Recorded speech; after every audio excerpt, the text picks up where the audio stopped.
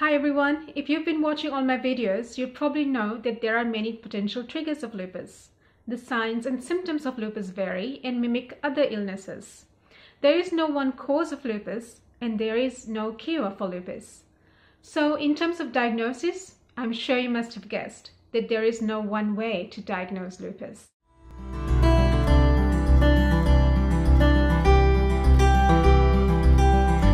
Hi everyone, I'm Priyashni and in this video you'll find information on how lupus is diagnosed. For more videos on lupus, its symptoms and triggers, please hit the red subscribe button below. I've read that it could take an average of 6 years to get a lupus diagnosis. You'd wonder why.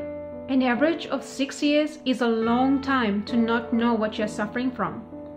Leaving lupus untreated for this long could lead to complications, or worse, could lead to one's demise. I feel when we first start getting lupus symptoms, a lot of time is spent on self-diagnosis, figuring out and ruling out possibilities like, is it all just in my head? Am I really just exaggerating my symptoms? But I'm in my 20s, how can I get swelling and joint pain? Could it just be work-related stress or that breakup? Should I change my diet? Can exercise fix this? Maybe yoga can. Am I hallucinating and imagining pain all over my body? Is this some kind of black magic going on? Maybe I should just try home remedies first. I think it's quite natural to have this kind of thoughts. If we are not self-diagnosing, I'm sure one of our relatives would do this for us. But we're just wasting time. Lupus mimics other illnesses, so often we could be too busy connecting our symptoms to some illness we've heard or know about.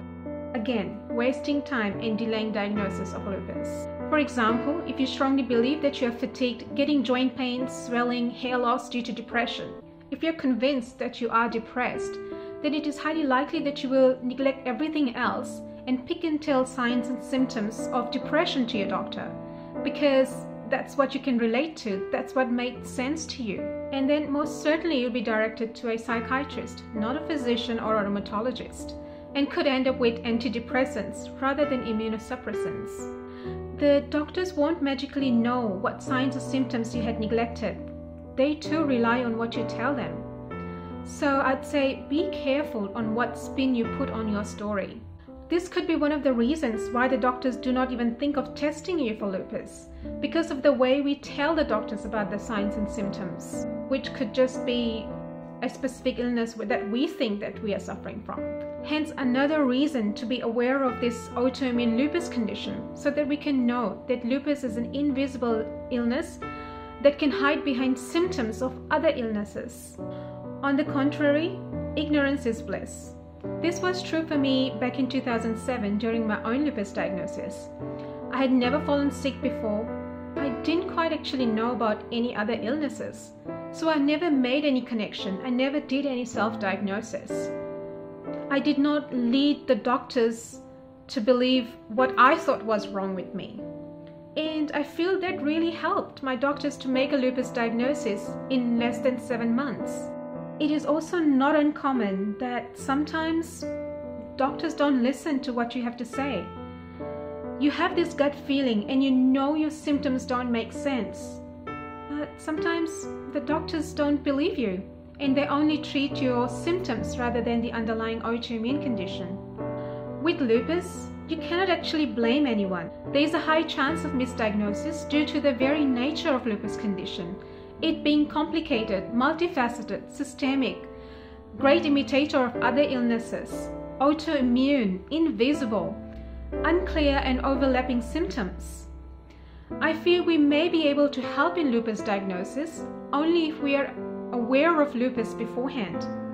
Therefore, awareness, awareness, and more awareness is needed on lupus. Moving on, so how exactly do doctors make this lupus diagnosis? It is said that no one test can diagnose lupus. Therefore, a combination of blood test, urine test, physical examination, signs and symptoms, your medical history, your family medical history, severity of the condition, etc., are evaluated for a lupus condition. These present their own challenges. For instance, blood test results can be positive, and the next time around it can be negative or vice versa. different labs could produce different results. Lupus symptoms vary and change over time. For instance, when the disease is active, you'll have a lot more symptoms. But when disease is in remission, you will hardly have any symptom. Physical examination, like signs of inflammation. Those on the outside can be easily seen, like swelling or redness.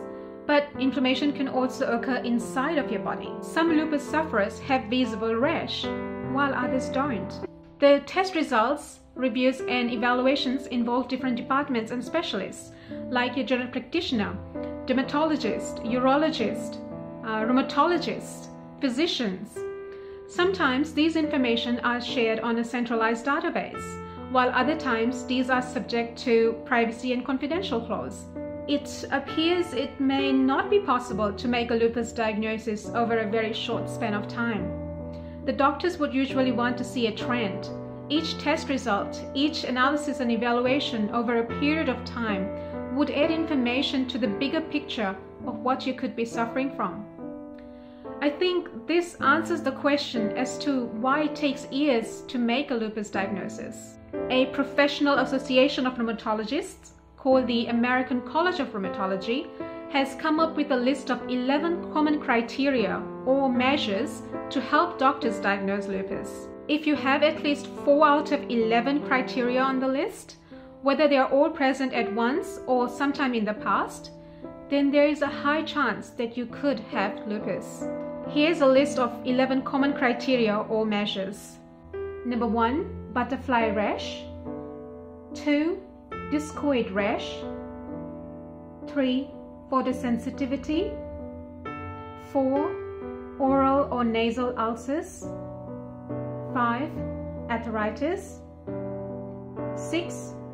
Serositis 7. Kidney disorder 8 neurological disorder. 9 blood disorder. 10 immunologic disorder. And 11 positive anti-nuclear antibody test result.